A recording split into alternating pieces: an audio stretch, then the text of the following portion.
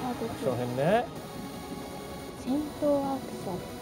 最初に公開済みの3クラスからの紹介です、まあ、ハンターは。まずはハンター、えーソードなどの近接武器を使ったオーソドックスな戦闘を得意としています。はいはい。はいうわどうぞどうぞーかっこいい。うん。近距離気持ちいいね続きましてレンジャー。レンジャー。アサルトライフルなどの遠距離攻撃遠距離武器を使った戦闘を得意としています肩越し視点について以前公開した PV からユーザーの皆さんからのご意見を受けましてよりプレイヤーの近くにカメラが来るように調節した点もご注目ください。ああやりやすくなってるえー、うん。続きましてフォースですね。フォースですよ、はい。テクニックと呼ばれる魔法のような属性攻撃を得意としてます。おーかっこいい。ちょっと難しいですね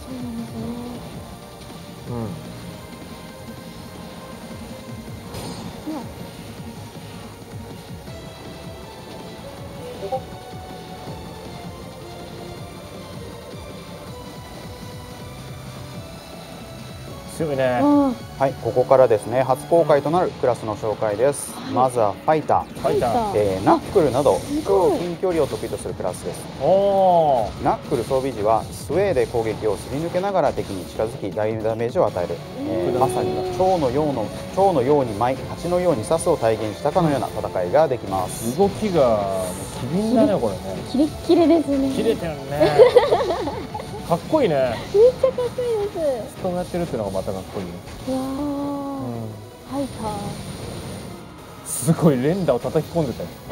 すごいね。あちょっと中距離ぐらいからもできるんだねはい続きましてガンナ。ー、今ねガンナ。ーガンナ。ーえー次に、えーあ主にツインマシンガンを使った中距離から近距離の戦闘を得意とするクラスです。ああなるほど。ツインマシンガンを装備してスタイリッシュロールと呼ばれるアクロバティックな動きを行いその名の通りスタイリッシュな空中戦闘が楽しめます。空中戦だね。空中戦か。っこいい、うん。おーおなんか華麗に避けてますけれども。え本当うに、うわーいいなん危ない危ない危ない。おー。おー。すごい。おーすごいすごいすごいっこいいね。ガン匂いなんかいいかもねうんうん。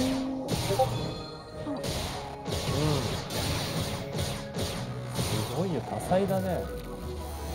えー、溜めたヒット数に応じてですね、えー大ダメージを与えるチェイン、はい。えーこちらですねフォトン圧のチャージから発動がでできるようになっております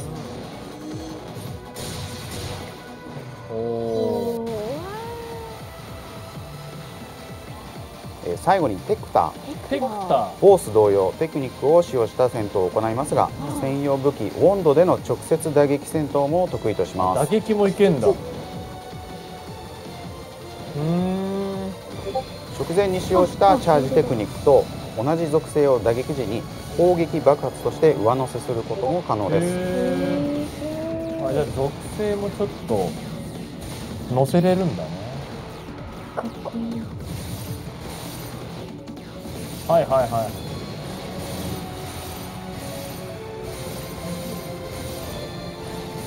なるほうどわ。あ全然なんか品質だね。えーまたパリでのえーパリも可能で、えー防御時に硬直せずにですね次の行動に移ることができるようになってうますわ。あああこれなんか便利だねテクターテクターあらえーそしてメインクラスに加えもう一つのもう一つをサブクラスに設定することではい。アイテムカスタマイズによりマルチウェポン化された武器を装備するとメインクラスの武器だけでなくサブクラスの武器のフォトンアーツやテクニックを同時に使用することが可能になっております。なるほど。組み合わせによってね。あなるほどなるほどはいはいああらららららどっちも使えるんだなこれ。ねああ武器持ち替えましたよ。はい。うんうんうん。ああ本当だ。こうやって近接もいけるし。全然違うわ戦い方が。えー続いて基本アクションの紹介です、はい。まずはフォトンダッシュ。任意に高速移動、えー移動ができ広大なオープンフィールドをかけるのに最適です。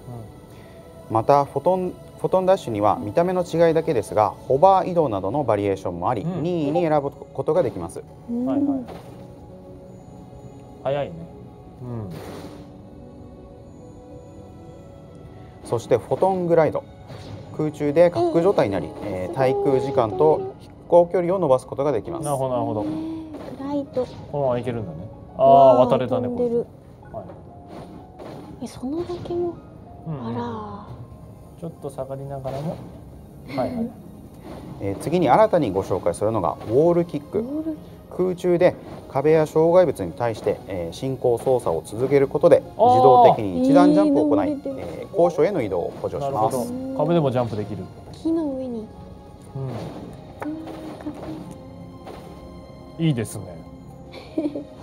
最後にですねシリーズ初の、えー実装となる泳ぎアクション。あ泳げんわのおおどこまで行けんの？綺麗。よ水中の敵とかもいんのかな？ああなるほど。泳いでる早く水着コスチュームが欲しくなると。ああいい感いいでじですよ。助かりま夏にいいですすね。何が助かるのかよくわからない 助かります。助かるね。うん